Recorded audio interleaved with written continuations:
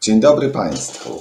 Witam serdecznie na dzisiejszej debacie portalu chronmyklimat.pl.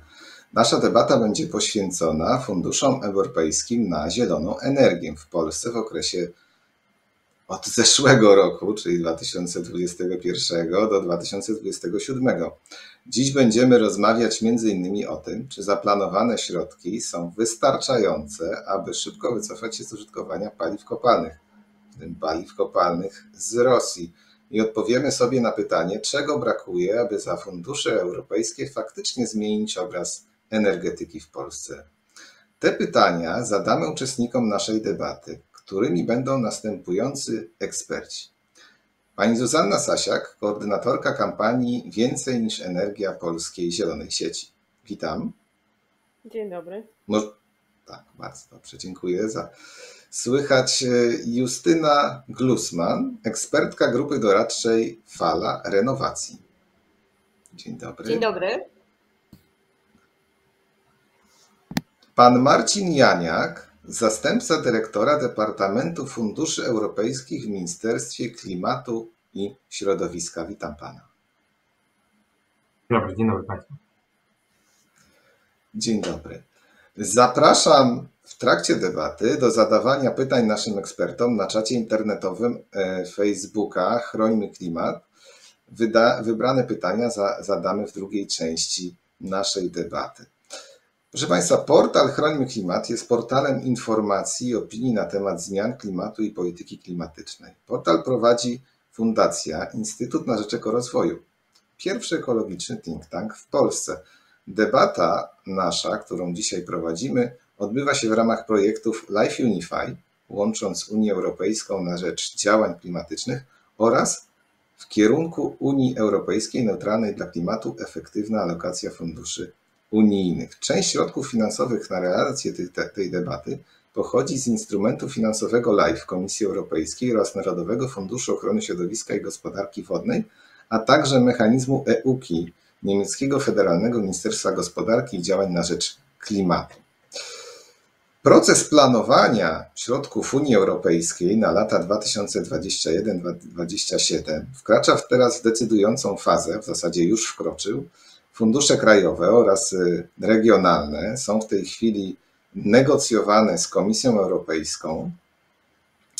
E, no i lada moment, y, myślę, że to jest kwestia końca czerwca, może troszkę dłużej, być może pan Marcin później nam to też troszeczkę jeszcze wyjaśni, e, y, będą, będą te fundusze zatwierdzane. Ma to być perspektywa finansowa o największych środkach skierowanych w ogóle dotychczas dla Polski, ale też największych środkach skierowanych na ochronę klimatu, a więc i na zieloną energię, na energetykę ekologiczną, na wszelkie działania z tym związane. Czy faktycznie tam tak będzie? E, o tym jest moja krótka prezentacja, a potem nasza debata. Proszę Państwa, więc tak jak mówiłem, e, jest to największe rozdanie funduszy unijnych i chciałbym, żebyście Państwo na początek w takich grubych kategoriach zobaczyli, jak rozkłada się podział tych środków. No, tak jak zwykle w Polsce, największe środki kierowane są na transport, ale mamy bardzo pokaźną sumę środków na efektywność energetyczną. E, no i potencjalnie też dosyć dużą pulę na odnawialne źródła energii. Y, przy czym proszę zwrócić uwagę, że te niebieskie słupki, niebieskie części tych słupków oznaczają Krajowy Plan Odbudowy, co do którego w tej chwili nie mamy jeszcze pewności, że te środki do nas trafią, chociaż y, dochodzą różne głosy i z Komisji Europejskiej, czy z polskiego rządu, że to będzie lub nie będzie lada moment zatwierdzone. Natomiast inne pozostałe fundusze unijne to są typowo pomarańczowe słupki. Warto zwrócić uwagę, że no, w relacji do tych największych kategorii e, wydatków, jak transport kolejowy czy drogowy, odnawialne źródła energii, jednak wypadają tutaj dosyć e, blado. E, przechodząc dalej, warto powiedzieć, że jeżeli chodzi o renowację budynków, to E, I w zasadzie wszystkie te kategorie związane z energetyką e, to środki europejskie e, wzrosły w stosunku do poprzedniego okresu finansowania, czyli 2014-2020. No tutaj można zaobserwować o jakie procenty i no, przynajmniej trzykrotnie, tak? poza może sieciami i magazynowaniem, gdzie ten wzrost jest może nawet nie trzykrotnie, tylko czterokrotnie, e, a w sieciach i magazynowanie dwukrotnie. Jeżeli chodzi o e, podział e, tych środków, to zwróćcie Państwo uwagę, że bardzo dużo będzie przeznaczone na, na renowację budynków publicznych, przede wszystkim w tym budowę nowych budynków o charakterze publicznym, ale także i na budynki prywatne. Jeszcze dodatkowe znaczne środki będą skierowane na efektywność małych i średnich przedsiębiorstw, na ciepłownictwo i na inne cele związane z efektywnością energetyczną. Tutaj na przykład taką ciekawostką jest wspieranie po prostu podmiotów, które zajmują się efektywnością energetyczną w formule na przykład E, przedsiębiorstw, e, które prowadzą usługi e, związane z efektywnością energetyczną. To, są, to jest podział funduszy tylko w zakresie wydatków na efektywność energetyczną.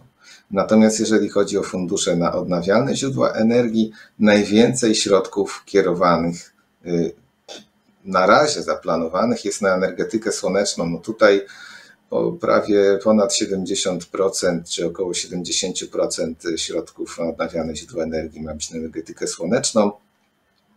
E, w drugiej kolejności na inne odnawialne źródła energii napisane jest, że w tym geotermia, ale to nie tylko będzie tego typu energia.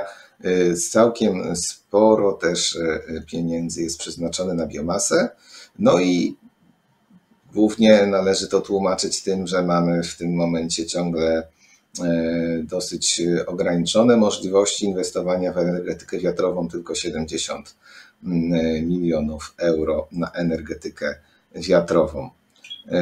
I jeśli chodzi o rozdanie regionalne funduszy, e, to bo tamte poprzednie słupki, które pokazywałem, dotyczyły rozdania krajowego, E, natomiast w rozdaniu regionalnym mamy tylko środki na renowację budynków i na odnawialne źródła energii.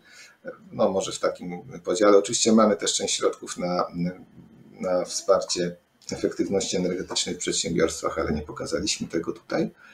E, to tutaj te wzrosty nie są tak e, widoczne, tylko jest niewielki wzrost w zakresie odnawialnych źródeł energii. Natomiast Y, co za to dostaniemy? Y, tutaj tylko wybrane takie wskaźniki Państwu pokazuję, które wynikają z podsumowania tych wskaźników, które są zawarte w projektach programów, takich jak Fenix, takich jak programy regionalne. I z tego podsumowania wynika, że będzie to co najmniej Mówię co najmniej, dlatego że te wskaźniki podejrzewam, że raczej są e, określone bardzo zachowawczo, to znaczy, że raczej na niskim poziomie, a prawdopodobnie większy poziom będzie osiągany. E, co najmniej 280 tysięcy lepiej ogrzanych lokali mieszkalnych, czyli po prostu mieszkań, co najmniej e, no, prawie 7 milionów metrów kwadratowych lepiej ogrzanych budynków publicznych, czy około 2 gigawata nowych mocy w odnawialnych źródłach energii, 1000 km, blisko 1000 km sieci gazowych, czy co najmniej 16 spółdzielni energetycznych. Takie wskaźniki też się pokazują w niektórych e, programach. E, natomiast na poziomie jakby rezultatu można pokusić się o takie podsumowanie, że dzięki temu, e, tym funduszom unijnym wyprodukujemy co najmniej 7,5 terawatogodziny, przepraszam, zużyjemy mniej, co najmniej o 7,5 terawatogodziny energii pierwotnej. Głównie chodzi o oszczędności w zakresie zużycia energii w budynkach, yy, ale też i wyemitujemy mniej dwutlenku węgla o 3, około 3,5 miliona ton. Nawet natomiast jeżeli chodzi o wyprodukowaną rocznie energię z OZE pod koniec 2030 roku, to może będzie nawet około 3 gigawatogodzin tej energii. Także tak to się przedstawia w takim bardzo grubym podsumowaniu. Oczywiście te fundusze unijne, które są zaplanowane, no jeszcze będą dalej w opracowaniu, bo do każdego takiego programu będzie przygotowany bardziej szczegółowy opis, który będzie z kolei przygotowywał grunt po konkretne konkursy do rozdysponowania tych funduszy, ale na tym tle chciałbym już oddać głos naszym ekspertom, zadać pytania i tak jak mówiłem wcześniej, zapraszam do zadawania pytań też na czacie. Facebooka, także, także bardzo, bardzo, bardzo serdecznie zapraszam i teraz już też chciałem te pytania zadać. A zacznę od pytania do pana Marcina Janiaka z Ministerstwa Funduszy i Klimatu. Także moje pytanie jest następujące. Czy pan, jako kierujący tym departamentem funduszy, jest zadowolony z takiego podziału funduszy na odnawialne źródła energii, efektywność energetyczną? No, czy dałoby się jeszcze coś dołożyć, czy do OZE, czy do efektywności? A może pomysł, ponieważ tych funduszy no, relatywnie do transportu na przykład jest mniej, pomysł na wsparcie odnawialnych źródeł energii może jest też inny niż tylko tego typu finansowanie unijne, o którym tutaj dzisiaj prezentacji powiedziałem. Zapraszam do tej pierwszej wypowiedzi. Dziękuję bardzo za to pytanie. Dziękuję również za zaproszenie i możliwość udziału w tej dzisiejszej debacie. Na początku delikatne sprostowanie, bo mam tutaj też przyjemność reprezentować Ministerstwo Klimatu i Środowiska. Więc z naszego punktu widzenia rzeczywiście te proporcje pomiędzy inwestycjami na infrastrukturę drogową, kolejową, infrastrukturę energetyczną, źródła te odnawialne, niskoemisyjne, no, najlepiej, żeby było na rzecz tych inwestycji związanych z transformacją energetyczną jak największa przewaga tych środków. Natomiast no, oczywiście trzeba wyważyć już tak mówiąc bardziej poważnie wszelkie priorytety w tym zakresie, więc też rozumiemy, że no, wciąż mamy duże potrzeby w zakresie dostosowania tej infrastruktury drogowej i kolejowej, więc dalej chciałem się skupić już wyłącznie na tych kwestiach związanych z naszymi inwestycjami, związanymi właśnie czy z infrastrukturą energetyczną, czy, czy, czy z źródłami energetycznymi, czy, czy też efektywnością energetyczną w, czy, czy, czy w sektorze przedsiębiorstw, czy w odniesieniu do budynków mieszkalnych, czy użyteczności publicznej. To może na początku jeszcze odpowiem na to pytanie w trakcie Pana wystąpienia. Dobrze, też gratuluję tej prezentacji, bo, bo to jest fajny wstęp do naszej dyskusji. Kiedy te programy mogą być? No, tak jak celnie Pan zauważył, rzeczywiście jesteśmy teraz w trakcie negocjacji z Komisją Europejską.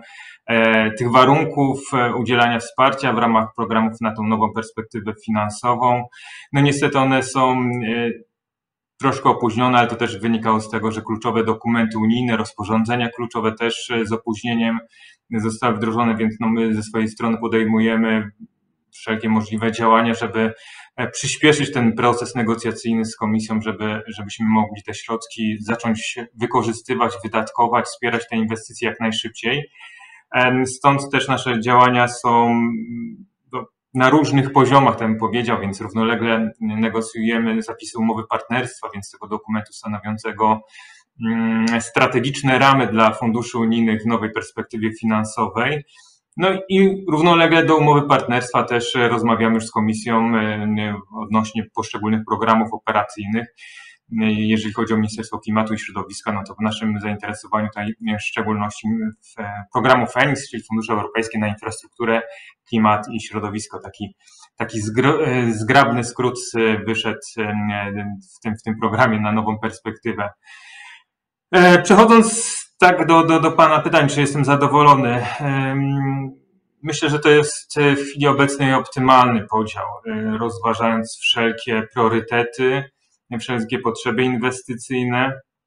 muszę tutaj powiedzieć, że na ten obszar energetyczny, transformacji energetycznej jest to wiele więcej środków niż miało to miejsce w poprzedniej perspektywie finansowej. Myślę tutaj o programie operacyjnym Infrastruktura i Środowisko, bo tych środków finansowych na ten obszar w tym programie ogólnokrajowym, który ma być w Feniksie, mm, będzie ponad dwukrotnie więcej, więc, więc rzeczywiście olbrzymi wzrost. E, to będzie ponad 6 miliardów euro. Natomiast wciąż jest to kropla w e, morzu potrzeb e, i patrząc na, na te potrzeby finansowe, więc tutaj też musimy pewne, pewną priorytetyzację dokonywać i patrząc na z jednej strony potrzeby finansowe, z drugiej strony też inne uwarunkowania, chociażby rynkowe, bo, bo mówiąc już o odnawialnych źródłach energii, musimy pamiętać, że część z tych inwestycji jest po prostu bankowalna, mówiąc tak, tak kolokwialnie, e, a, inaczej jest po prostu biznesowa. Czy, czy spojrzymy na e, farmy fotowoltaiczne, czy farmy wiatrowe, to one z powodzeniem e, już sobie radzą bez wsparcia publicznego, więc te środka, środki możemy z powodzeniem przekierować na inne obszary. E, też nie możemy zapominać, że, że te odnawialne źródła energii mają swój system wsparcia operacyjnego, tak zwany system wsparcia operacyjnego, e, czyli, czyli ten system udzielania dopłat tak, do energii, e, które jest udzielany, kontraktowany w ramach aukcji. Więc, więc jeżeli chodzi o odnawialne źródła energii, w szczególności te, te, te typy inwestycji, o których wcześniej mówiłem, no to one tutaj sobie z e, powodzeniem już w zasadzie na warunkach rynkowych, e, poprzez finansowanie rynkowe pozyskiwane z instytucji finansujących jak banki, doskonale radzą. Aczkolwiek tutaj chciałem zaznaczyć, że no oczywiście ten sektor odnawialnych źródeł e, energii nie jest jednolity, no bo tutaj mamy z drugiej strony, z jednej strony mamy właśnie te już wspomniane farmy fotowoltaiczne czy, czy, czy farmy wiatrowe, elektrownie wiatrowe, ale z drugiej strony mamy mm, na przykład biogazownie, biometanownie e, czy, czy, czy, czy e, tego typu inwestycje, które potrzebują jednak e, tego większego wsparcia finansowego, bo po prostu no, bez, bez niego nie osiągną tej, tej rentowności. Więc też no, chcemy tutaj z rozwagą patrzeć na to, jakiego typu inwestycje potrzebują tego wsparcia publicznego i w odpowiednim momencie tutaj z tą interwencją E, publiczną, środkami publicznymi wchodzić. E, natomiast jeszcze na końcu chciałem powiedzieć, kończąc ten, ten, ten, tą wypowiedź, że no musimy pamiętać i jesteśmy doskonale tego świadomi, że mamy tutaj do czynienia z programem wieloletnim. E, I ta sytuacja, czy, czy rynkowa, geopolityczna, no może zmieniać się na przestrzeni lat, więc też no, musimy być tutaj świadomi tego, że, że może być konieczna modyfikacja tych priorytetów, inne spojrzenie, więc e, też jesteśmy na to przygotowani, żeby odpowiednio monitorować sytuację e, na rynku tych poszczególnych inwestycji, e, jakie tutaj są kreowane potrzeby, czy, czy jest to wsparcie bezpośrednie, dotacyjne, a może inne formy finansowania potrzebne, więc, więc też oczywiście tą sytuację będziemy monitorowali. E, I przepraszam, e, mówiłem, że to jest ostatnia rzecz, ale, ale jeszcze jedna tutaj mi przyszła do głowy, bo też o, o to Pan pytał odnośnie różnych źródeł finansowania. To jest bardzo dobre pytanie, bo e, nie możemy zapominać, że rzeczywiście to jest te programy z funduszy unijnych, finansowane z funduszy unijnych, czy, czy z polityki spójności, tak jak właśnie Fenix, regionalne programy operacyjne, czy, czy, czy te środki z Next Generation EU w ramach, zaplanowane w ramach Krajowego Planu Odbudowy, czyli, czyli w ramach tego instrumentu na rzecz odbudowy i wzmocnienia odporności, który mamy nadzieję niebawem zostaną też tutaj e, odblokowane i będziemy mogli mm, je wykorzystywać między innymi na, na, na wsparcie właśnie tych inwestycji przyczyniających się do transformacji energetycznej.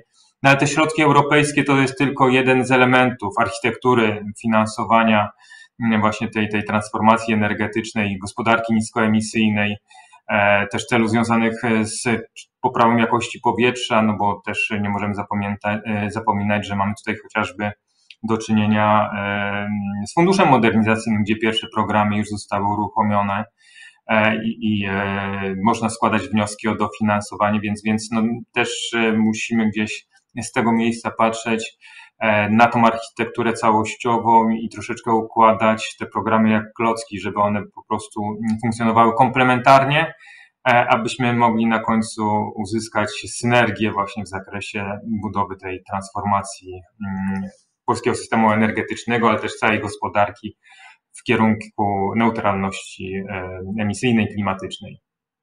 To tyle z mojej strony, może troszkę przedługa ta, ta wypowiedź, ale mam nadzieję, że byłem w stanie odpowiedzieć tutaj na Pana pytanie. Dziękuję bardzo.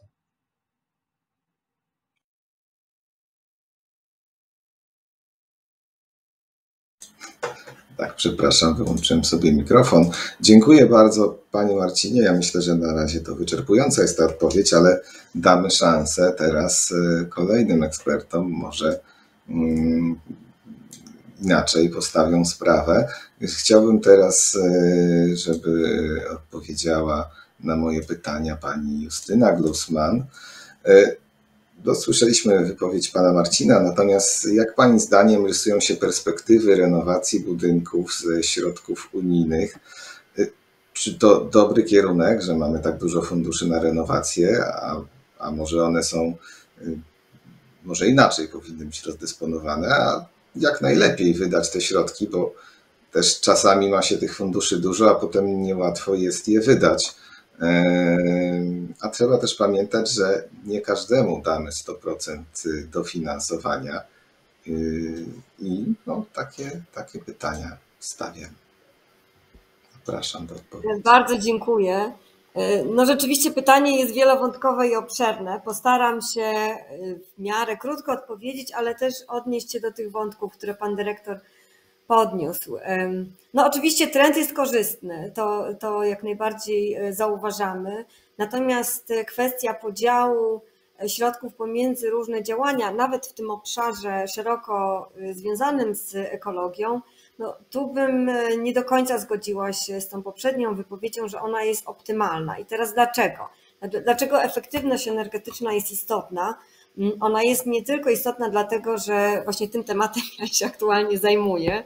E, mam przyjemność prowadzić Stowarzyszenie Fala Renowacji, które promuje efektywność energetyczną. Natomiast jest to temat bardzo ważny, taki wielowątkowy, wielowymiarowy, korzyści wynikają z poprawy efektywności energetycznej. Ona jest kluczowa zarówno w kontekście kwestii bezpieczeństwa energetycznego, jakości życia, powietrza, e, ale też na przykład sprawiedliwej transformacji, poprawa efektywności energetycznej budynków pozwoli na zmniejszenie ubóstwa energetycznego. To jest problem, z którym się mierzymy od lat, ale który narasta w związku z tymi gwałtownie rosnącymi cenami nośników energii i ich pochodnych. Koszty utrzymania budynku ogrzania, koszty urządzeń budynku, który jest, posiada wyższą efektywność energetyczną, są dużo, niż, dużo niższe. To, są, to jest kwestia obniżenia przy takiej kompleksowej, głębokiej modernizacji budynku do 70, nawet 80%. Także to jest bardzo istotny e, element tej dyskusji poprawa jakości powietrza. Mamy oczywiście programy rządowe, program Czyste Powietrze, które wspierają takie działania, ale dziś znowu w tych zmieniających się warunkach, przy rosnących cenach paliw, jest zdecydowanie niższe zainteresowanie wymianą kotłów węglowych na chociażby kotły gazowe. Mieszkańcy się boją e, tego radykalnego wzrostu cen. E, w Warszawie to jest spadek o E, kilkadziesiąt procent. To jest tak naprawdę 30-40 e, aplikacji miesięcznie, bardzo nisko porównując z poprzednimi latami. No i oczywiście niezależność energetyczna. Nie będziemy w stanie zbudować bezpieczeństwa energetycznego i uniezależnić się od paliw kopalnych z Rosji, po prostu zmieniając kierunek dostaw, z których pochodzą nasze, nasze paliwa. Musimy zmniejszyć ich zużycie. E, być może w kontekście tych bardzo rosnących, e, bardzo gwałtownie rosnących cen najistotniej, najbardziej wybrzmiewa ten wątek związany e, z wysokością rachunków za ogrzewanie i prąd. Mm, to wszystko jest oczywiście bardzo mocno związane z ograniczeniem emisji gazów cieplarnianych, także te wielowymiarowe korzyści, one one się przekładają także na redukcję emisji, co jest zarówno celem Polski, jak i całej Unii Europejskiej. No i teraz modernizacja energetyczna, jeżeli ona ma być efektywna, musi, jakby te programy, które wspierają modernizację budynków, e, muszą być e, zreformowane. Przede wszystkim muszą wspierać kompleksową modernizację, e, muszą uzależniać poziomy wsparcia od osiągniętych efektów w postaci w postaci działania prowadzące do wyższej efektywności energetycznej powinny być promowane e, niższą e, dotacją. E, też te programy powinny zostać uproszczone, żeby były dostępne. Także musimy stworzyć system, w którym te środki, które zostały pokazane, dostępne ze źródeł unijnych, będą mogły być w sposób no, łatwy, szybki dystrybuowane. Teraz wracając do pytania, czy to jest dużo, czy mało. Dzisiaj mamy mm, około procenta y, modernizowanych budynków y, rocznie, to jest 1,2% y, średnia z ostatnich lat. Z, zgodnie z polską długoterminową strategią renowacji budynków i także mm, planami unijnymi, to ma być 3%, czyli ponad, ponad dwukrotny wzrost i tempo, ścieżka redukcji emisji którą prezentuje Unia Europejska, musi mm, no, radykalnie przyspieszyć, czyli musimy osiągnąć taki poziom w ciągu najbliższych 30 e, lat, e, jaki realizowaliśmy przez ostatnie około 50 lat. Musi dwukrotnie wzrosnąć tempo, e, tempo renowacji budynków, bo budynki to około 40%, źródło około 40% emisji CO2.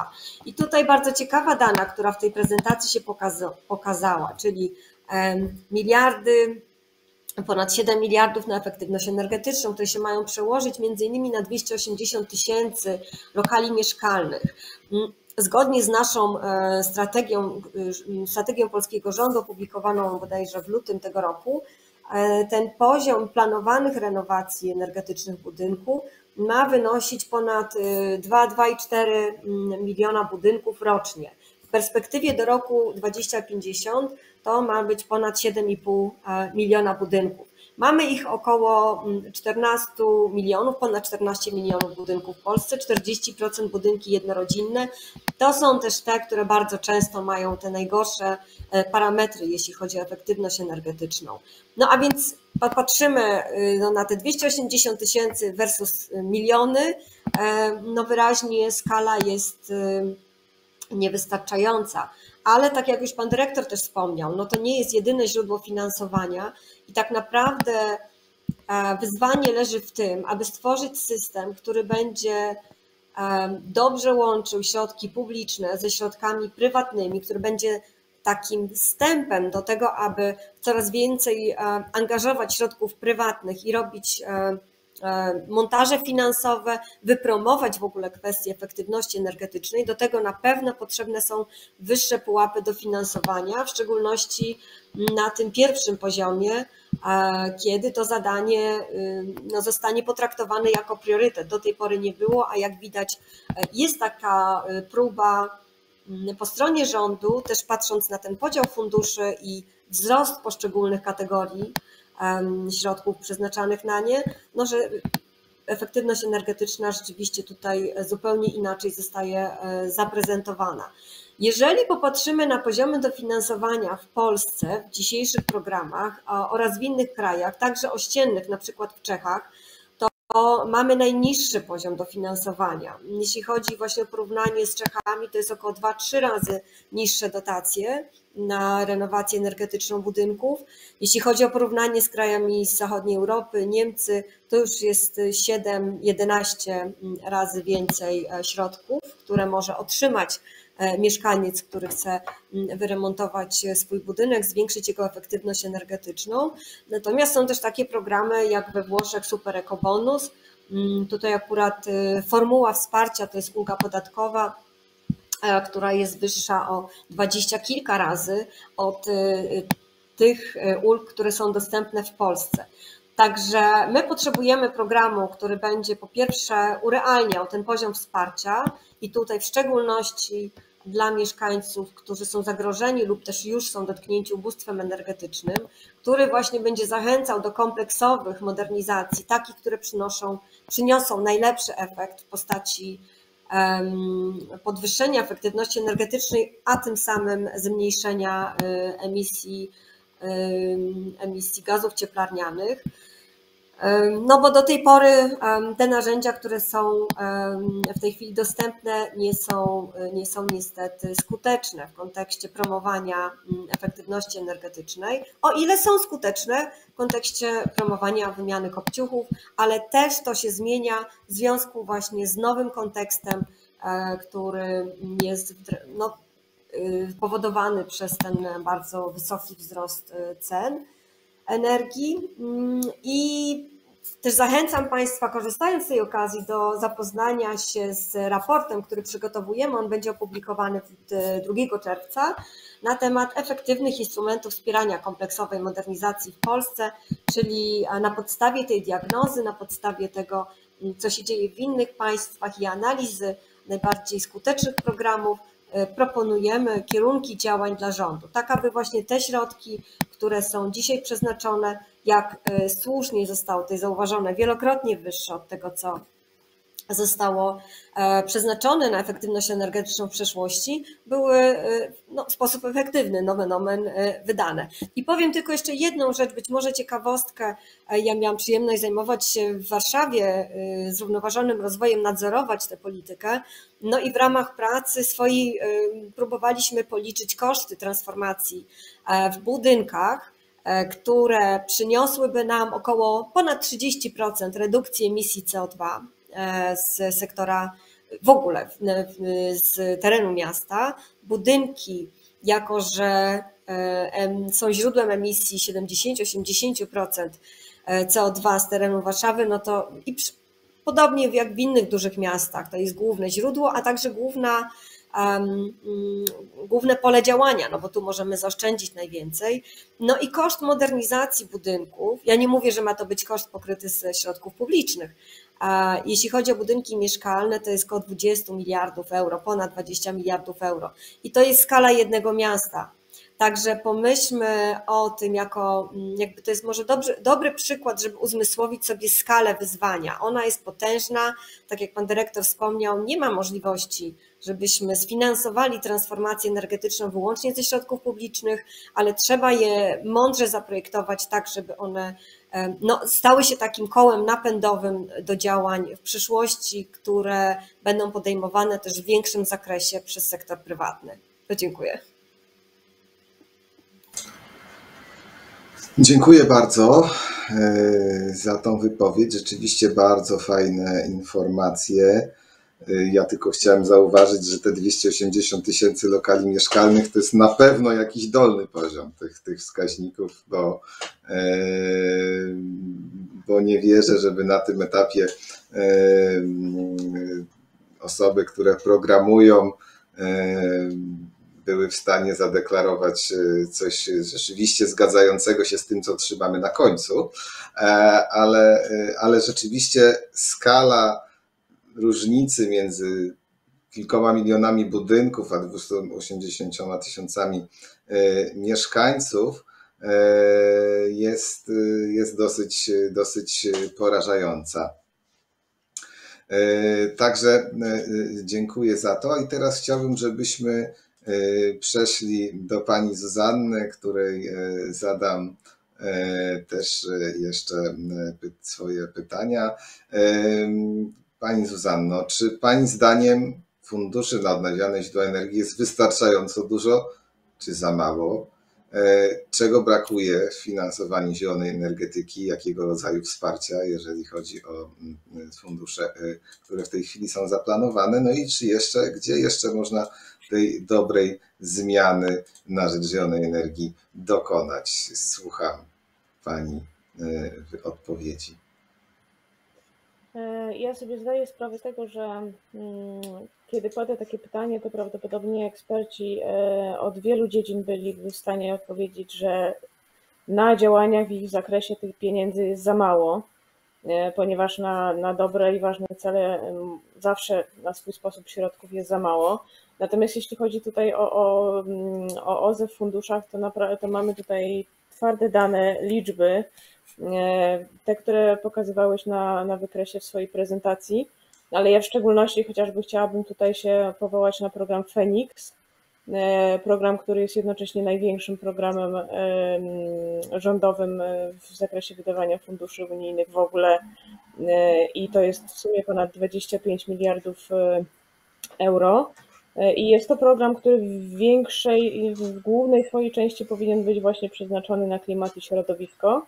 E, tymczasem środki na OZE stanowią jedynie, przepraszam, środki na energetykę w ogóle jako całą stanowią jedynie 14% e, budżetu programu Fenix. W tym samo OZE, czyli czyste dotacje dla, dla instalacji OZowych, to są na poziomie 1% środków dla energetyki słonecznej i 0,4% dla, dla energetyki wiatrowej i, i biomasy. E, to swoją drogą też, też jest pewne nieporozumienie, że, że energetyka wiatrowa i biomasa są, będą dofinansowane na, na takim samym poziomie. Natomiast jeżeli mówimy tutaj o, o pułapach e, na wysokości procent lub poniżej, naprawdę ciężko powiedzieć, że jest to wystarczające dofinansowanie dla OZE. E, i troszkę więcej tych środków dla OZE jest, jest prze, przewidzianych w Krajowym Planie Odbudowy, ale to z kolei wynika z tego, że w ogóle budżet Krajowego Planu Odbudowy jest większy i proporcjonalnie te, te środki na OZE są również bardzo małe.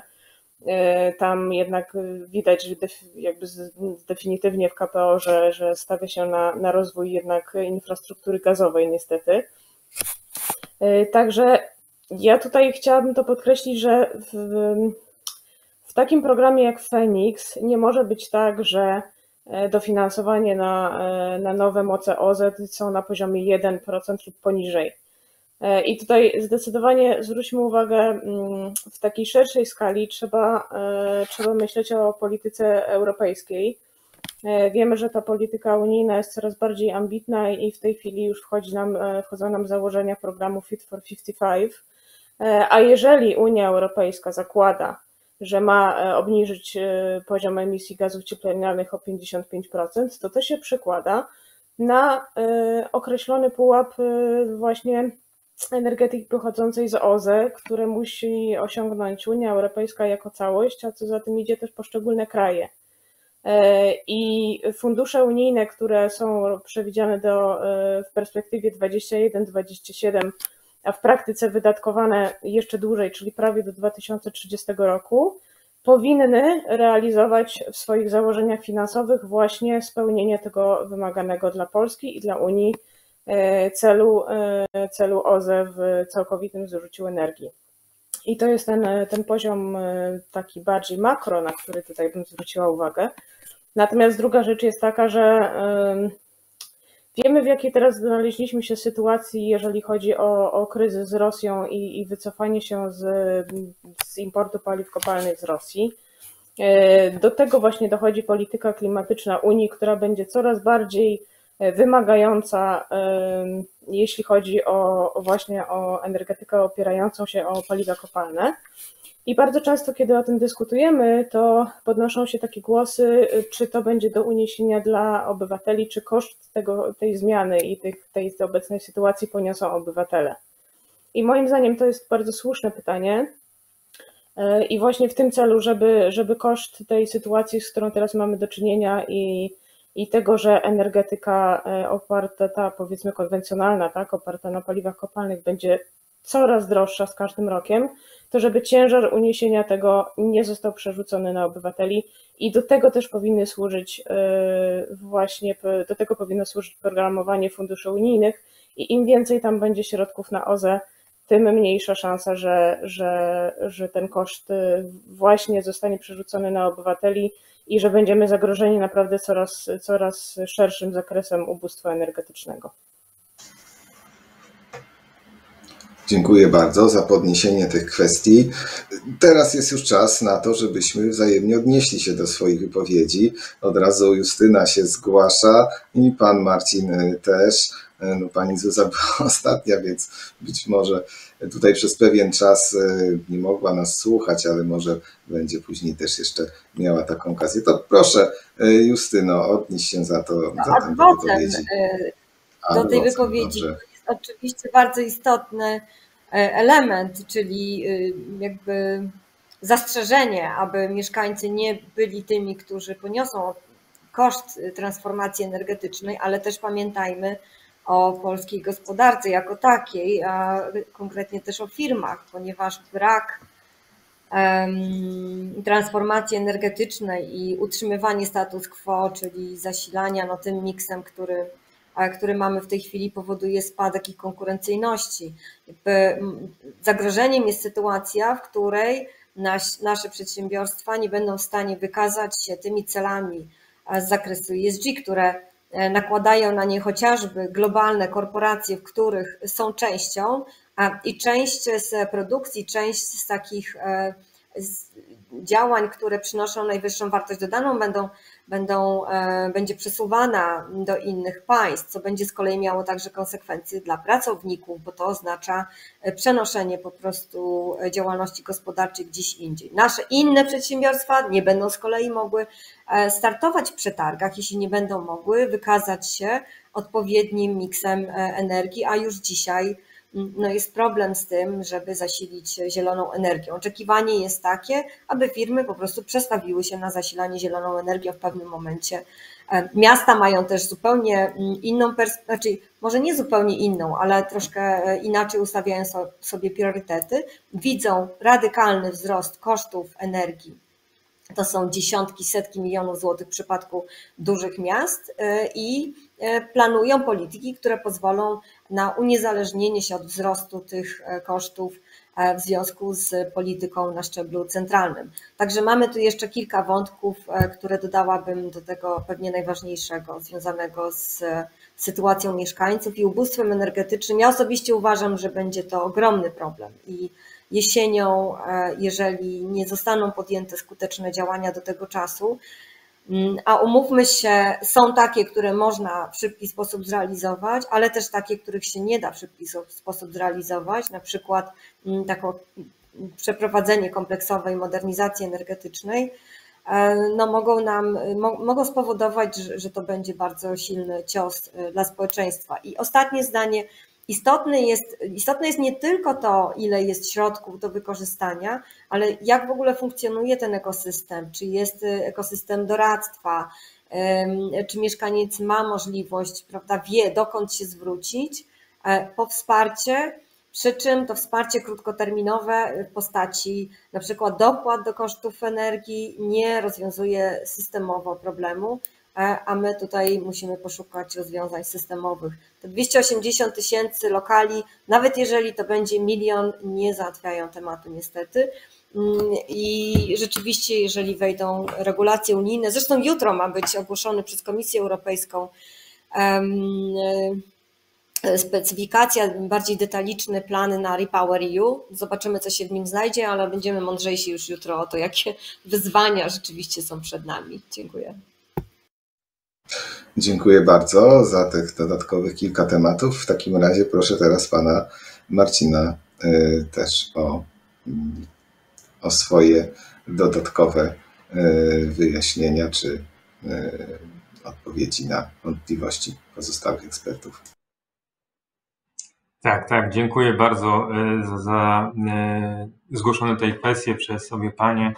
E, I, I, zaczynając tak od wypowiedzi, tak chronologicznie od pani Justyny, no, no muszę powiedzieć, że w pełni podpisuję się pod tym, e, co pani Justyna powiedziała, dla nas również priorytetem. Zresztą, co widać było też na tej prezentacji, po, po, po tą priorytetyzację na działania związane z efektywnością energetyczną, efektywnością energetyczną budynków mieszkalnych.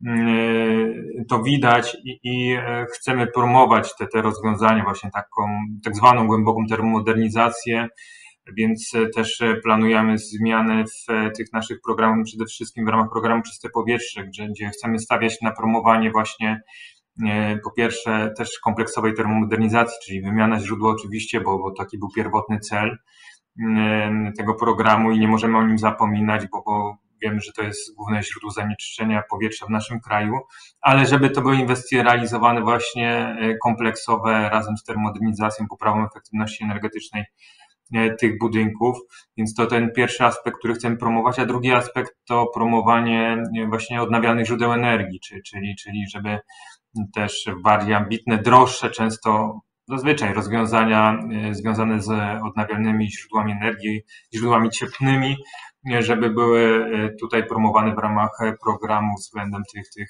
no, źródeł konwencjonalnych, może mniej, nie tak emisyjnych jak te na paliwa stałe, ale jednak. Więc e, tutaj w pełni pod tym się podpisujemy i też widzimy te potrzeby. Wiemy, co się dzieje na rynku nośników energii na, na, na rynku paliw, e, więc, więc też pod tym kątem e, chcemy, chcemy zmieniać te nasze programy i gdzieś stawiać tutaj na tą priorytetyzację. E, odniosę się króciutko do tego rozdźwięku między wskaźnikami, bo rzeczywiście, tak jak już też tutaj pani Justyna powiedziała, no to tutaj mówimy o tylko jednym programie, i tutaj o Feniksie, natomiast e, też KPO e, tutaj ma swoje wskaźniki, jeżeli chodzi o tą termodernizację budynków mieszkalnych. Nie, nie, jeśli dodam, tutaj nie ma wskaźników z KPO, ale są wskaźniki ze wszystkich programów krajowych i ze wszystkich programów regionalnych w mojej prezentacji. Regionalnych także, zwracam uwagę, jest ich 16. Tak, tak, tak, e, bo tam są e, też e, te, te budynki samorządowe, tak, zarządzane zazwyczaj przez, przez samorządy te mieszkalne. Natomiast widzimy, że prawdopodobnie największa skala termomodernizacji, tych działań związanych z termomodernizacją jest finansowana poprzez ulgę termomodernizacyjną, więc, więc tych źródeł finansowania bezpośredniego inwestycji, bym powiedział pośredniego właśnie tak jak ulga, bo, bo tak, tak bym nazwał tą formę finansowania bądź co bądź, no to rzeczywiście, jeżeli połączymy te różne źródła finansowania, to, to, to wyjdzie taka liczba no, znacznie, znacznie wyższa. Natomiast też odnośnie tych poziomów finansowania, bo to jest odwieczny problem, tak? Czy, czy więcej dać, czy mniej. I to jest w szczególności istotne zagadnienie w kontekście właśnie tych ograniczonych środków, w kontekście potrzeb. E, I oczywiście no, najlepiej by było, jakbyśmy mogli może nie tyle 100%, ale 85% na takim poziomie e, finansować. Natomiast e, no, wówczas w naturalny sposób nie osiągniemy tych efektów e, w większej skali, tak, jeżeli byśmy na przykład finansowali na poziomie 50, 60 czy 40%. I, I, najlepszym takim przykładem chyba były te inwestycje związane z, z energetyką prosumencką, z, z mm, z mikroinstalacjami fotowoltaicznymi, gdzie e, często w regionach one uzyskiwały finansowanie nawet no, 80, 85, 60 czasami procent. E, natomiast program Mój Prąd pokazał, że przy znacznie, znacznie niższym poziomie finansowania można wywołać tą falę właśnie inwestycji w energetykę prosumencką. Widzę, że tutaj jest adwocem. E, Rozumiem, no to, to, to tak mówię, jest odwieczny problem, czy, czy, czy w większym czy mniejszym stopniu finansować, musimy znaleźć złoty środek, e, w tym, w tym nomenklaturze funduszowej mówimy o tak zwanym efekcie zachęty, żeby uzyskać ten efekt zachęty, żeby tego inwestora skłonić do pozyskania tych środków i zrealizowania inwestycji, więc, więc to jest ogromne wyzwanie. E, I e, Kwestia różnego finansowania. Też chciałem przypomnieć, że na początku tego roku właśnie został w ramach programu Czyste Powietrze ogłoszona ta część e, dotycząca właśnie tych osób e, no, objętych tym zjawiskiem ubóstwa energetycznego o najniższych dochodach, gdzie to finansowanie może sięgnąć nawet 90%, więc, więc też no, staramy się to kształtować w zależności od dochodów, od innych czynników, właśnie od zakresu inwestycji, o czym mówiłem, tam gdzie ten program będzie się zmieniał pod kątem właśnie promowania inwestycji związanych czy z e, kompleksowym podejściem do, do zagadnienia efektywności energetycznej, czy też właśnie promowania tych odnawialnych źródeł e, energii.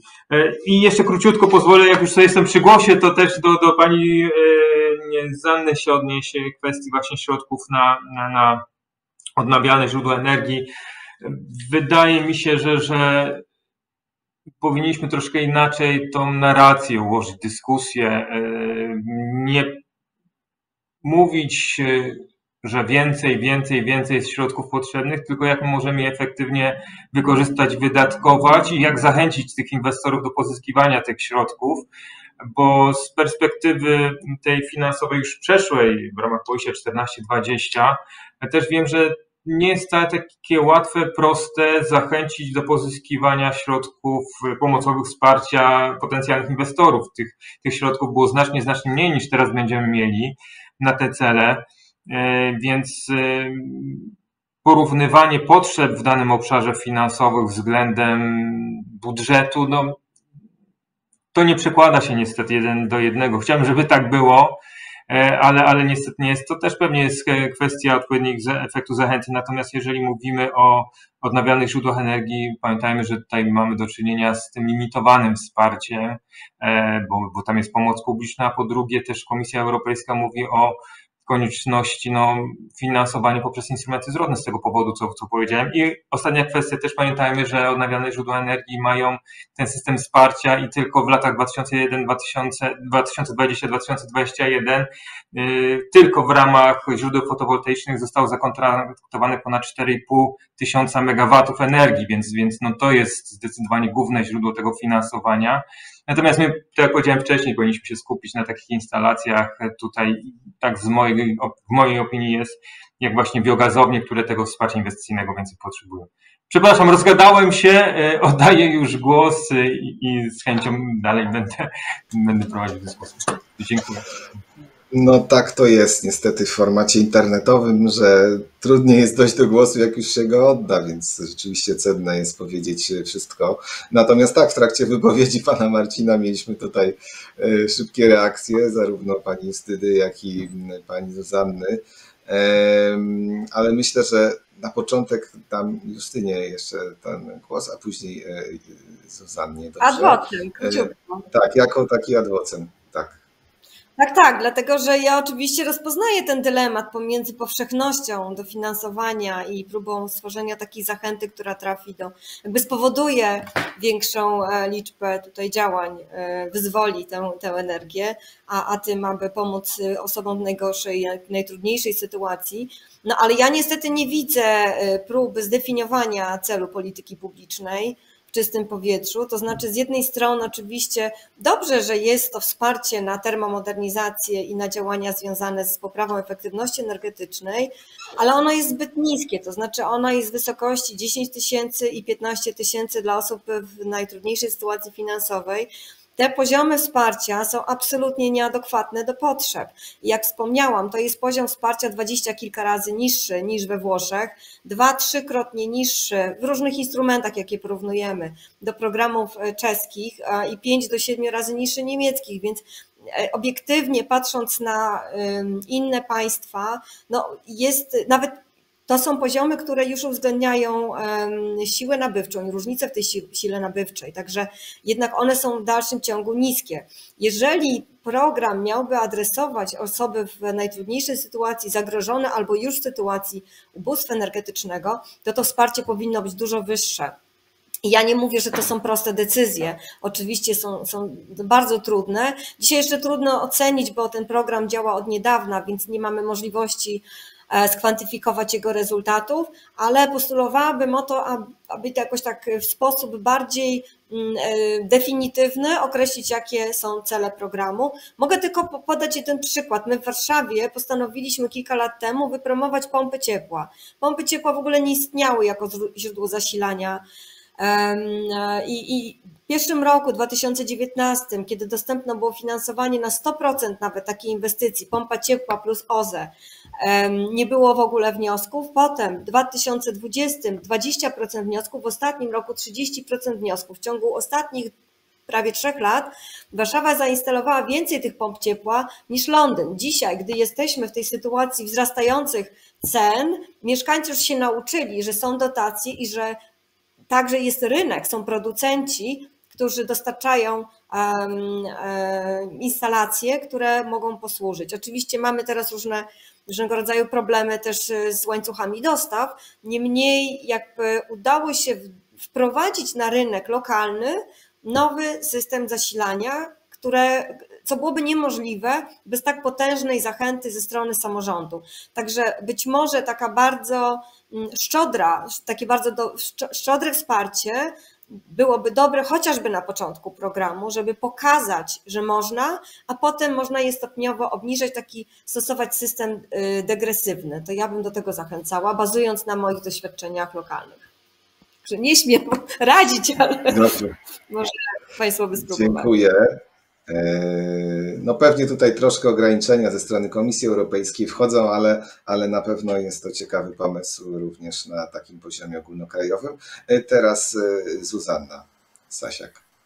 Dziękuję. I reakcja. Ale tutaj się pojawiło parę wątków, do których w jakiś sposób chciałabym się odnieść.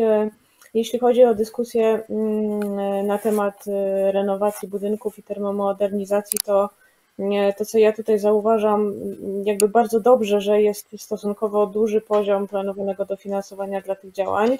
Natomiast no, w naszej opinii powinno być termomodernizacja i renowacja budynków powinna być ściśle połączona e, z instalacjami e, odnawialnych źródeł energii. E, I tutaj jest tak duży rozdźwięk między tym wsparciem planowanym dla mm, termomodernizacji i renowacji, a wsparciem dla samego OZE, że nie jestem przekonana, czy jest tutaj takie spojrzenie strategiczne na ten problem właśnie na zasadzie, że to jakby powinno być już postrzegane kompleksowo, że chodzi o e, zarówno podniesienie efektywności energetycznej w tym przypadku budynków, a jak i też wyposażenie ich już w te nowoczesne i zielone i bezemisyjne źródła energii. To jest jedna rzecz. E, druga sprawa to trudno mi się odnieść do tego, co powiedział e, pan dyrektor, że co do tych problemów z potencjalnymi beneficjentami w poprzedniej perspektywie. Natomiast teraz, jak słucham różnego rodzaju dyskusji przedstawicieli biznesu, e, to widać, że oni są bardzo świadomi i obecnej, i nadchodzącej sytuacji, i nie obawiałabym się chyba już tego problemu, że nie będzie, nie będzie zainteresowania, jeśli chodzi o pozyskiwanie tych, tych funduszy, bo E, jakby biznes dobrze kalkuluje i oni sobie zdają sprawę, że, że przejście na OZE to jest, to jest, to jest dla nich no w dużej mierze nawet ratunek tak naprawdę dla, dla opłacalności ich, ich biznesów e, w, w najbliższych latach. E, natomiast też nie zapominałabym mm, jeszcze o drobnych, drobnych przedsiębiorcach i w ogóle o prosumentach, czyli o osobach, które, które wytwarzają i podmiotach, które wytwarzają energię E, na własne potrzeby. Prosumentami z jednej strony mogą, mogą być osoby prywatne i gospodarstwa domowe, o czym tutaj chyba jeszcze nie mówiliśmy, ale małe i średnie przedsiębiorstwa też mogą być prosumentami i to też byłoby rozwiązanie dla, dla tego sektora. I tutaj, jeśli chodzi o to, jak skonstruowane są programy typu Fenix czy, czy KPO, to trudno jest w sumie stwierdzić, w jakim zakresie przewidywane jest dofinansowanie dla wielkoskalowych, y, dla wielkoskalowego OZE, czyli to będą takie rozwiązania, gdzie duże spółki po prostu tak przenoszą, znaczy zmieniają swoją produkcję z, z paliw kopalnych na, na OZE, a w jakim zakresie to będzie jednak wsparcie dla, dla drobnych przedsiębiorców i prosumentów w ogóle.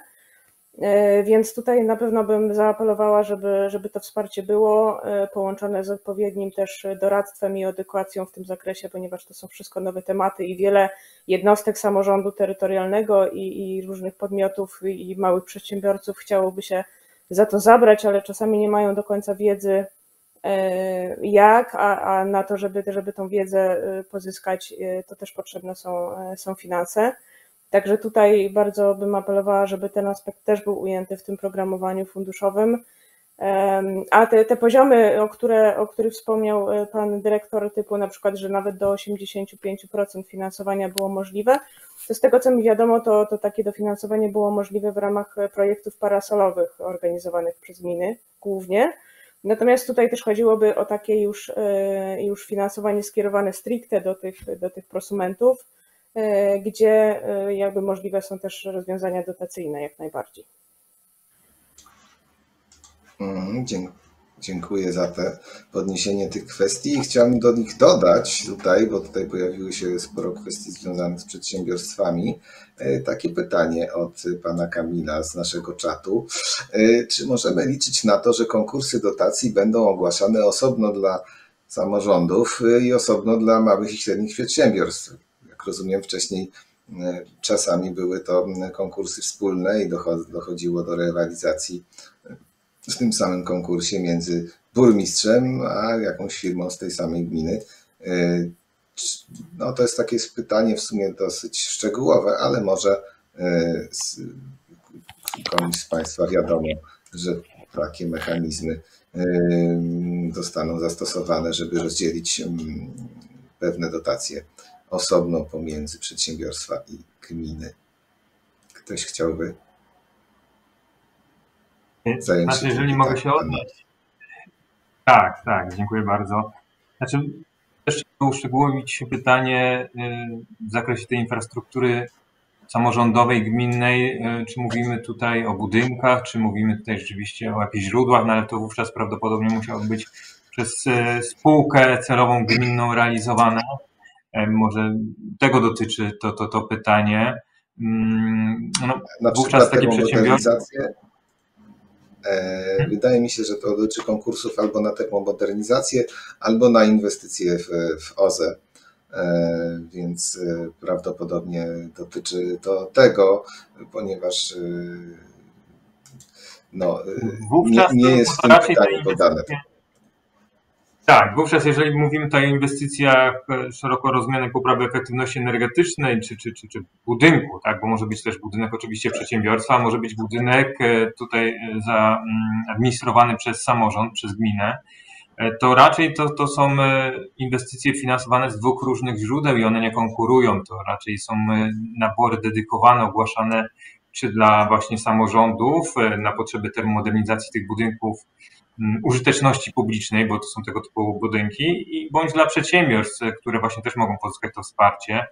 I też często, i już to było w poprzedniej perspektywie, i prawdopodobnie no, trzeba się przyzwyczaić do tej myśli w kontekście nowej perspektywy, nawet forma finansowania tych dwóch inwestycji, dwóch typów inwestycji będzie się różniła, bo prawdopodobnie jeżeli mówimy o tych inwestycjach związanych z poprawą efektywności energetycznej budynków, użyteczności publicznej, to, to, to mamy nadzieję, że będzie utrzymane to wsparcie bezzwrotne, dotacyjne. Natomiast e, jeżeli chodzi o tą, e, te, te, inwestycje związane z efektywnością energetyczną, przedsiębiorstwach, no to prawdopodobnie będą instrumenty zwrotne, czy to będą pożyczki preferencyjne, czy inne formy, e, też z umorzeniem, więc, więc to może być instrument mieszany, pożyczkowo-dotacyjny na przykład, natomiast to już raczej nie będzie czysto dotacyjny instrument, więc nawet tutaj forma będzie, będzie się różniła. I jak już mówię o tej efektywności energetycznej, to jedną kwestię tylko tutaj odniosę się do, e, do tego, co wcześniej było powiedziane przez jedną z pań, E, też musimy pamiętać, że w tym obszarze efektywności energetycznej, poprawy efektywności budynków, też mamy ten element związany z OZE, bo, bo oczywiście to może być element tej inwestycji e, często nawet w tych konkursach jest, że efektywność energetyczną z, z OZE, więc, więc również ten element OZE jak najbardziej tutaj identyfikujemy, żeby też no, no, przy, przy zmianie, zmniejszeniu zużycia energii dla budynku, no też była możliwość e, zmiany źródła, źródła wytwarzania, pozyskiwania tej energii na bardziej ekologiczne. Dziękuję, Dziękuję. za tą odpowiedź. Czy ktoś chciałby jeszcze zabrać głos może w tej sprawie albo w innej? E, Justyna się e, zgłosiła się, przepraszam, nie zawsze patrzę na ekran. W takim razie mm, proszę króciutko jeszcze. Ja bym chciała dwie wypowiedzi tutaj połączyć. Po pierwsze, jakby nie ma sprzeczności, wręcz przeciwnie, w, w dofinansowaniu OZE i instalacji odnawialnych źródeł energii, a efektywności energetycznej. Natomiast to, o czym trzeba pamiętać, no to właściwa kolejność tych działań, czyli um, zasada pierwszeństwa efektywności energetycznej, którą, o której mówi się od dawna i która występuje w wielu dokumentach e, także unijnych, ale i polskich długoterminowej strategii, natomiast która nie jest przestrzegana. Generalnie chodzi o to, aby e, najpierw zmniejszyć zużycie energii, a potem zainstalować takie źródło, które będzie odpowiednio sparametryzowane. I, i tutaj znowu mówimy o takim racjonalnym podejściu no, do tych polityk. Także jak najbardziej tak, a mm, z tego co powiedział pan dyrektor, no tym bardziej e, uwzględnienie tych działań łączących efektywność energetyczną i instalacje OZE znalazło się też w nowym standardzie, w nowej e, dyrektywie, w rewizji dyrektywy o charakterystyce energetycznej budynków, którą prezentowała komisja, niedawno były konsultacje. Mm, no i tam po prostu przewiduje ta dyrektywa obniżenie maksymalnego progu zużycia energii pierwotnej, zakaz emisji dwutlenku węgla ze źródeł zainstalowanych w budynkach, E, i pokrycie całkowitego rocznego zużycia energii pierwotnej przez źródła odnawialne. Także to wszystko jakby idzie e, ze sobą w parze i jak najbardziej Pani o tym wspomniała, powinno być rozpatrywane jako takie systemowe rozwiązanie dla budynków, prawda? Jakby mm, kompleksowa modernizacja energetyczna budynków to jest zarówno izolacja odpowiednia tego budynku, to jest instalacja źródeł ciepła, poprawa mechaniki wewnątrz budynku, która może doprowadzić do 30% nawet redukcji zużycia energii, wymiana oświetlenia i tak dalej. Problem polega na tym, że nie wydaje mi się, że dzisiejsze programy tak kompleksowo na to patrzą, bo na przykład, chociaż w warunkach technicznych istnieje e, obowiązek instalowania opomiarowania zużycia ciepła, to już y, można otrzymać dotację na wymianę kotła, ale niekoniecznie, znaczy nie ma tam wprost eksplicite w programie Czyste Powietrze zapisanego warunku o konieczności instalowania mm, takich urządzeń, które zmniejszają po prostu zużycie ciepła, a to by pomogło tym mieszkańcom obniżyć y, rachunki. Także też mamy jakby sporo takiej przestrzeni w małych działaniach niewielkich, i korekcie tych programów, które, która mogłaby poprawić e, efekty, e, które uzyskujemy dzięki nim. Jeszcze Państwo byście chcieli odpowiadać. Ja bym zapytać może, e, bo Pan Dyrektor mówił o tym, że planowane są zmiany. No słyszymy o tym w przestrzeni publicznej, że planowane są zmiany, ale może jakby rąbek, tajemnicy Pan Dyrektor tutaj nam uchylił. Kiedy, czy, czy jest przewidziana jakaś odrębna koperta, na modernizację energetyczną. Przy czym jeszcze chciałam zwrócić uwagę, mówimy modernizacja energetyczna, bo to, to określenie obejmuje wszystkie te elementy, o których wspomniałam, natomiast sama termomodernizacja kojarzy się wyłącznie z izolacją. Więc może dlatego. Dobrze. Ja myślę, że mogę dać minutę panu dyrektorowi w tym momencie, bo już musimy powolutku kończyć. Dobrze, to tak szybciutko się odniosę. No rzeczywiście e, też właśnie planujemy w tym zakresie e, te, te zmiany. Już teraz audyty energetyczne mogą być do 100% e, finansowane, natomiast no nie chcemy narzucać wymogu audytów, jakiejś uproszczonej oceny. Też chcielibyśmy, żeby to były kompleksowe inwestycje, co wymagamy w przypadku budynków czy wielorodzinnych, użyteczności publicznej, że na podstawie audytu właśnie, żeby to była kompleksowa termomodernizacja. Też nie chcemy wyhamować tego programu, jego celów, uzyskania celów poprzez narzucanie ambitnych e, wymogów, więc, więc staramy się znaleźć ten złoty środek. Ale ostatnie e, dwie kwestie, jakby mógł jeszcze, bo tutaj była e, kwestia związana, podniesiona doradztwa Szybko. energetycznego. Szybko. Tak, tak. My już też finansujemy Pulsie 1420 był ten system finansowany, planujemy go kontynuować. Są też działania w internecie, webinaria prowadzone chociażby właśnie na temat potencjału czy, czy możliwości realizacji inwestycji, czy w zakresie efektywności energetycznej, czy OZE. Zachęcam projekt doradztwa energetycznego odszukać w internecie, bo bardzo dużo ciekawych materiałów tam jest i też w ramach tego projektu są szkoleni energetycy gminni, więc też e, gdzieś e, jest to przenoszone na ten poziom lokalny. Jeszcze parę rzeczy bym miał, ale już nie chcę zabierać głosu. Jest, to jeszcze może za chwilę wygospodarujemy chwilę czasu, natomiast y, myślę, że tak w ramach podsumowania y, troszkę spróbuję odpowiedzieć. Tutaj było takie pytanie pana Marka, czy przedstawione fundusze zapewnią nam solidną dekarbonizację polskiej energetyki, skoro musimy produkować więcej energii, jednocześnie rezygnować z węgla i, i z niego produkować energię.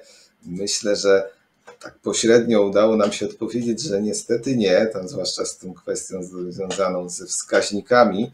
Natomiast w takiej ostatniej Państwa finalnej wypowiedzi, na którą no, naprawdę poproszę bardzo zwięźle e, e, e, o odpowiedź na takie pytanie, Czego Państwa zdaniem brakuje, gdybyście jeszcze mieli tam, mogli przedstawić w tych funduszach europejskich żeby zmienić polski, obraz polskiej energetyki, żeby w 2030 roku ta energetyka już nie była tak węglowa, tylko była e, e, właśnie postawiona odwrotnie, czyli na odnawialnych źródeł energii. Króciutko od każdego, może zaczniemy e, od pana dyrektora, a potem przejdziemy do Justyny i do pani Zuzanny.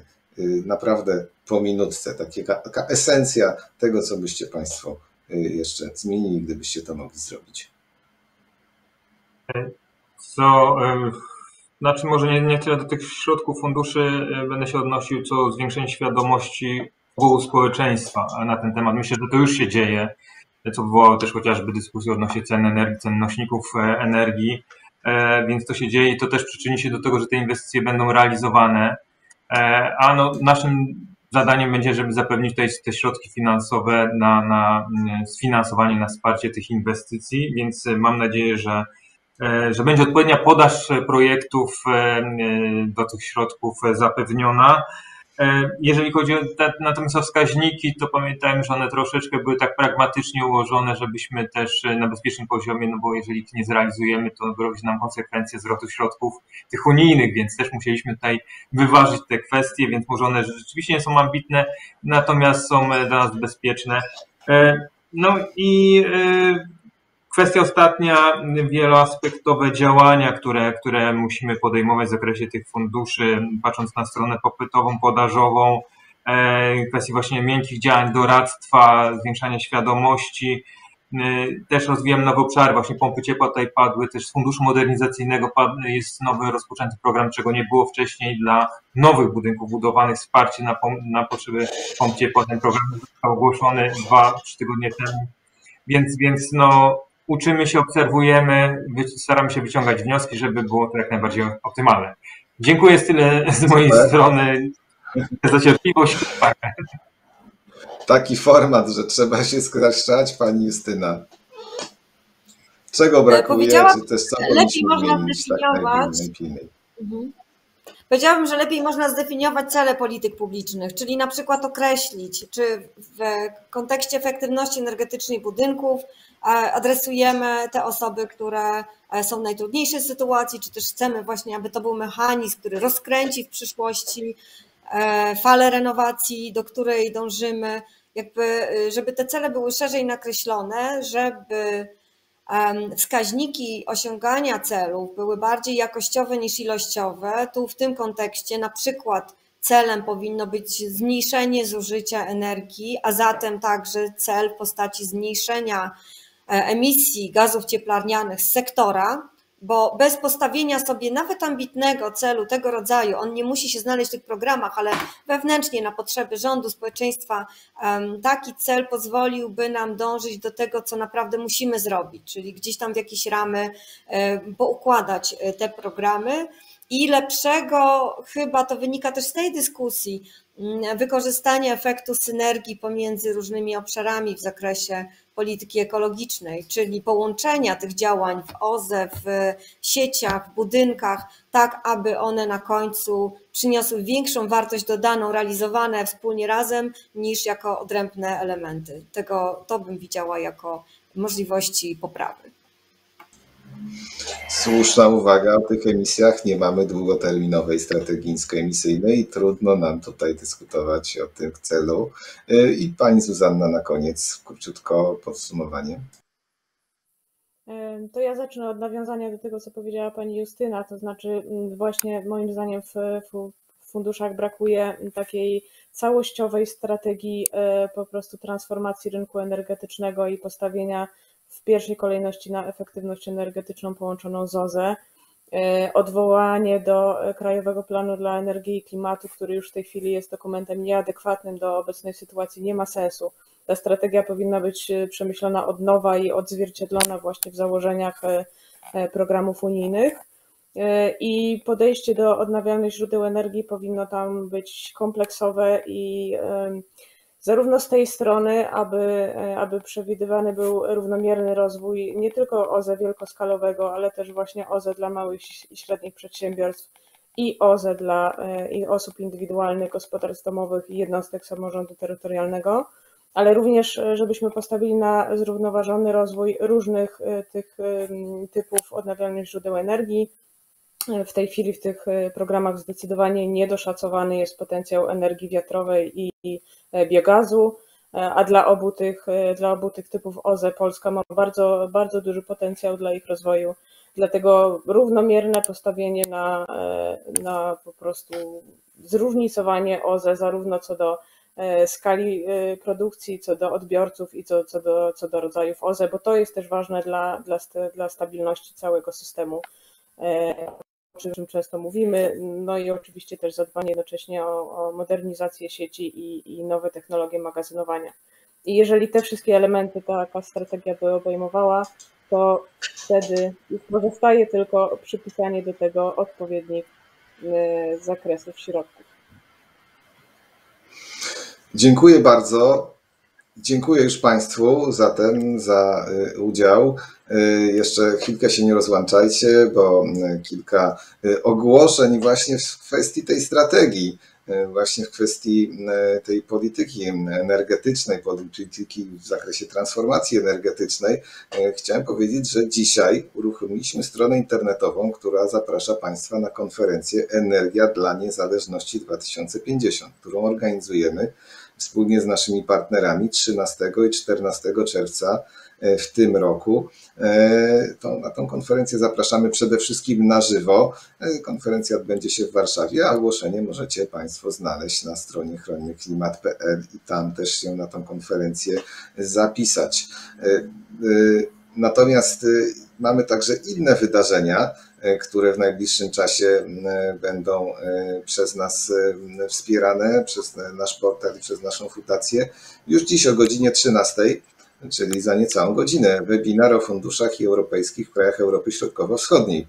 Webinar po angielsku, transmitowany przez Facebooka organizacji CEE Web for Biodiversity.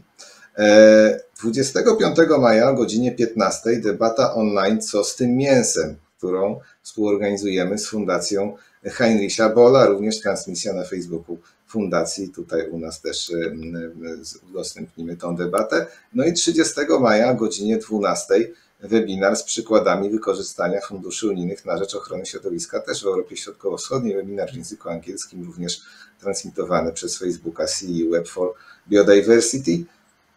I tym samym kończę tą y, debatę. Myślę, że była bardzo ciekawa. Zresztą już tutaj na Facebooku y, mamy takie potwierdzenia i niektóre głosy, że była. Y, odpowiedzieliśmy też na kilka, myślę, nurtujących naszych słuchaczy pytań.